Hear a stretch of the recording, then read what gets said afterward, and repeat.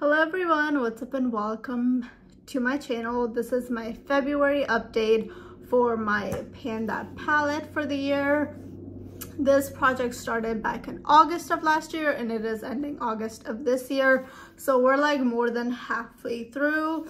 I am going to show you guys pictures of what each shadow looked like last time as I'm showing it. And now that I think about it, I don't think I took a picture so it would have to be a screenshot from my last video. I don't know what is happening to me. I need to take those pictures. Anyways, if you're new to my channel, my name is Sodaba. I make makeup content. If that is something you're interested, please subscribe and let me show you guys my progress.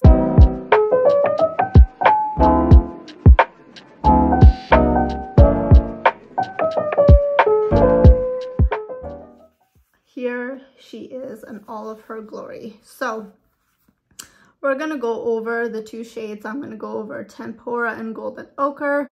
So Golden Ochre, I have like a side pan. I'm not sure if I hit it last time or recently, but um, I've been working on that. That it is my favorite shade. I can easily finish this, but I won't because it's like my favorite shade and I can't find a dupe for it. And you can't buy a single of it which is crazy but um so i'm holding on to that shade and i think i'll try to finish it when this project ends and i'm going to focus on other shades in the meantime for tempera not gonna lie for a little bit i stopped highlighting my brow bone but i'm gonna start doing it again so that is mainly what i use that for. Now i have some good news regarding Buon Fresco and vermeer. So vermeer i finally finished this shade. This is where she is.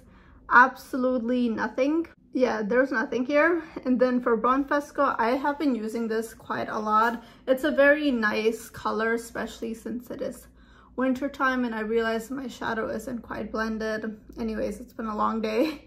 So uh, I'll just leave that as is but I have been using that. It should look a little bigger but not really.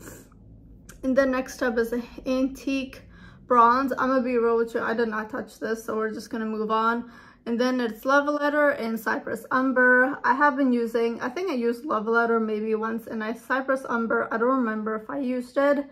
And so these two I kind of stopped using. My I've been trying to focus on the reds in this palette and I've been mainly focusing on these two. So anyways, let's go down. Then we have Raw Sienna and Burnt Orange. I have been using these two a lot. Yeah, these two are like my go-to kind of crease shades, even though they're kind of darker. Um, I do like them. And then we have Primavera, which I finished a long time ago. And then we have Red Ochre and Venetian Red. Um, these two, uh, I have been trying to use them and I think there is a little bit of a difference, especially with Red Ochre. I've been using this quite a lot. Venetian Red, I don't think people realize this is not a matte color. It, it has a little bit of a shimmer, which is why I don't use it as often and I've been mainly gravitating towards red ochre. I am wearing it on my outer crease and so I'm working on that. And then we have Warm Taupe and Realgar. I think these two have changed just slightly. I have been using Warm Taupe quite a lot and Realgar, I don't remember if I have used it.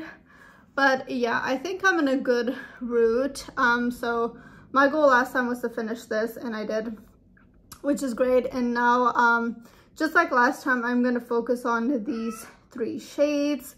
Um, but since spring is coming up, I'm probably going to use this a lot because I like pinks. And I'm going to try using this shade. I really don't like it, but I'm going to try using it a little bit. And so, yeah, there is that. And one more thing, I'm going to start from now on, I'm going to start counting how many times I'm using each shade. I feel like that will help me a lot more because sometimes I forget if I reached for something and so it will help us go smoother. So yeah, my cat needs me right now, so I have to go. Thank you so much for watching. Please like, comment, and subscribe, and I will see you in my next video.